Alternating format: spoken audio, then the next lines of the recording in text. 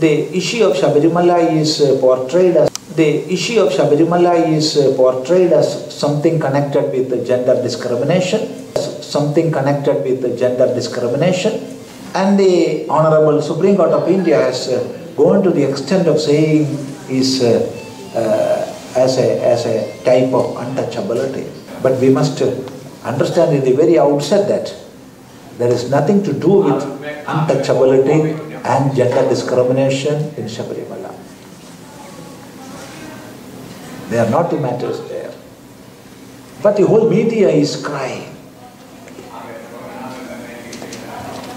That is, that is a part of a, a big conspiracy which we can call uh, breaking India forces uniting together. We are seeing the puppets playing in front. We are not seeing the threats behind.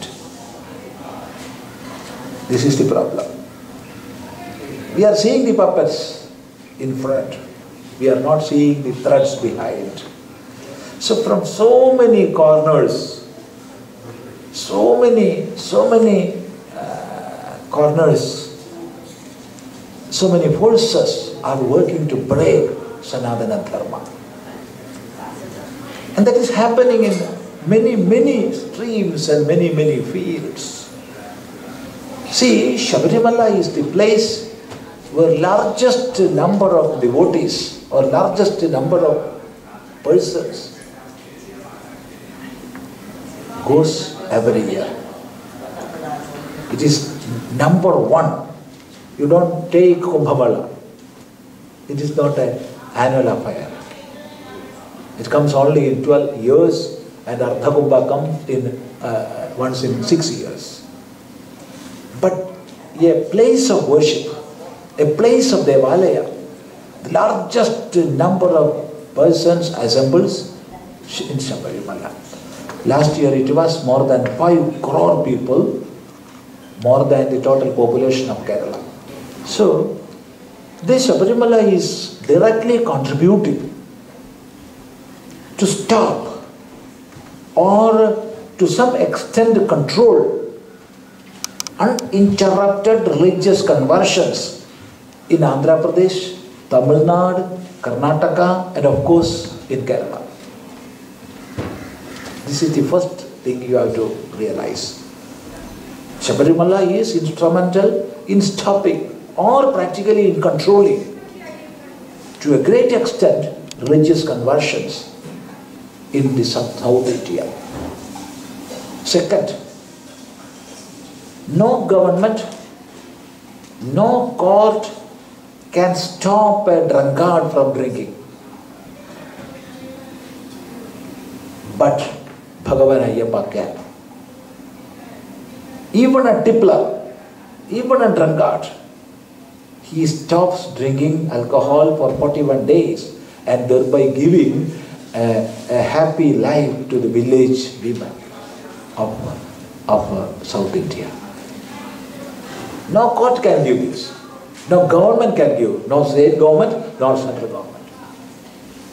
Only Bhagavan Ayyappa can give. These are the problems. And not only this, there is another matter also. And uh, that is uh, near Shabarimala, there is Erumeli, and there a very big airport should come. It is the interest of some quarters. And along with that airport, some tourist resorts, and for the viability and the success of those, Shabarimala must be made a tourist spot. These are the main three points you have to keep in mind. So, we know the greatness of Sanatana Dharma lies in unity of diversity or unity in diversity. So many diverse practices are there. So many diverse practices. But there is an underlying unity which is connecting all these, uh, these diverse practices. When we observe temple worship pattern, there are diverse types. And again, when we observe the temple worship patterns in India, we can see in all other parts we are following Vedic system, whereas in Kerala we are following Tantrika Vedika system. It's a sort of Tantrika Vedika system. That is followed in Kerala. Kerala means not the political Kerala of today, but the Tantrika Kerala. Tantrika Kerala begins from uh, this uh, Kanyakumari and the extent goes up to Mookambika. That is the, the, the extent of Tantrika Kerala. So in the Tantrika Kerala, the temples, there are so many unique practices. Unique practices. For example, uh, there is one temple called Mannarashala. There, the head priest will always be a woman. No man can be the head priest. No. We are not shouting against it. It is a matter of gender discrimination. No men are allowed to be the, the head priest of the temple. We are not saying. It is a practice. And see, sannyasi is not a temple worshipper. You know that? I don't, I don't know whether you know or not. Sannyasis are not temple worshippers. We are not karmakandis. After throwing the Yajnopavita to a flowing river, we are becoming sannyasis. So we are not karmakandis. Even though we are not karmakandis, entry of a sannyasi into a temple is considered most auspicious. But there is a temple in Kerala where sannyasis are not allowed to enter in. You know that? That is Payyanur Subramanya Swami temple. No sannyasi is allowed. It's a practice. We are not going discrimination against the sannyasis. So you must allow us to enter. No, we are not going. There is a temple in uh, Kollam district of Kerala where all men will go in the dress of women. They will wear saris and blouses and uh, so many other things with the long hair, pitted, you see. they will go to temple. It's a practice. So many unique practices are there like this. And in Shabarimala, it is a practice which is coming from time immemorial that women of the menstruating age are not allowed to enter. Young girls before their puberty can go and women after their menopause can go. So it is not exclusion, but it is only limited restriction. And see, temples are not places of uh, public worship. Temples are not places of public worship. We must understand this fact. We must not give the right to declare temples as public places to court or to government. We must know that temples are not places of public worship. Temples are called in Sanskrita Devalaya. In Hindi and other languages, Mandir. And in Malayalam, Ampalam or Kshetram. All these means it is the house or the abode of God. Devalaya, Devasya Alaya. It is the house.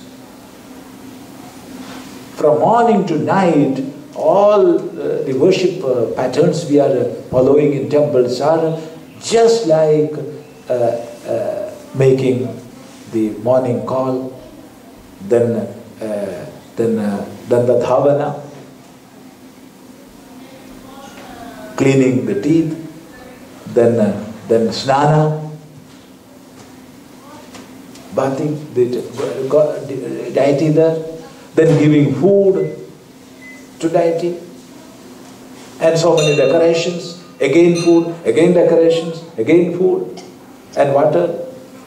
and in the night sleep well.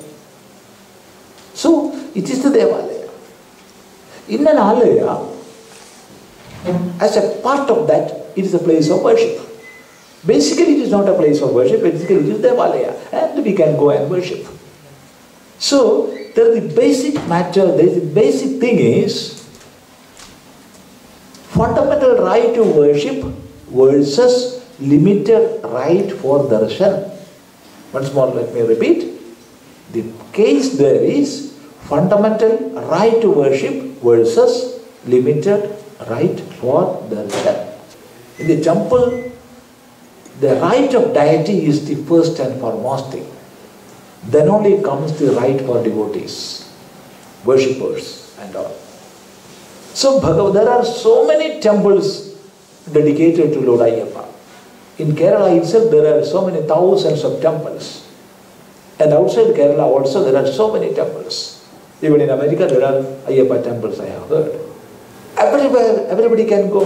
Whether you are a man or a woman or a transgender, you can go. There is only one temple, that too in the midst of forest, on the top of a mountain, where entry is somehow restricted. And as per belief, it is the instruction of Bhagavan Ayyappa himself. Before entering into Samadhi, he called Pandalam Raja and instructed, in such a pattern you must build a temple for me and the patterns of worship must be like this. So he instructed and accordingly we are observing and this observance was there from time immemorial. It is not hurting anybody. In the, is our, if our government or God, in the name of uh, uh, uh, gender discrimination, are going to break the age-old custom or system followed in Shabarimala, we must shout. First, you have to consider the condition what is the, in mosque. There are lakhs of Muslim masjids. Nowhere women are allowed to enter. There is only one temple, only one temple, and that too exclusion is not there, only limited restriction is there. And it is the right of Lord Ayyappa because it is his house. See? But the biased media and the biased intelligentsia, the so-called, are seeing only one side, they cannot see a whole. When we talk about masjid, they are keeping mum. But when it is the case of Shabarimala, they have thousand tongues. This is what is happening. So we must realize there is no exclusion, there is only limited restriction, and limited restrictions are there everywhere. Wherever you go, there are limited restrictions. In airports, there are limited restrictions. In hospitals, there are limited restrictions. In schools and colleges, there are limited restrictions. Everywhere. In the bus and train and flight, there are limited restrictions. Everywhere. So the matter we have to realize. And the Honorable Supreme Court has taken the matter up to the extent of untouchability. This is a matter of untouchability. What nonsense it is. It is not untouchability. Because untouchability comes when it is something connected with the caste discrimination. There is no caste discrimination. See?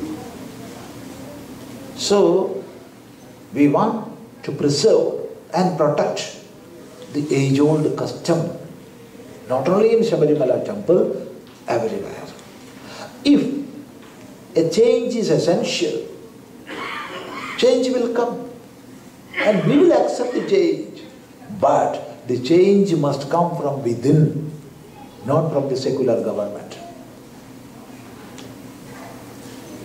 It must come from experts of Veda, experts of Tantra Shastra, and of course, in the case of Shabarimala, Tantri is there, Pandalam Raja is there. There must be a consensus and, uh, and uh, change must come. We will not or must not allow the secular government to, to put hand in all matters of Hindu dharma only. That is not good. But in India, it is so. They have not done regarding other religions, but all atrocities are being performed against Hindu dharma. See, when somebody in, New, uh, in Europe portrayed Muhammad Nabi,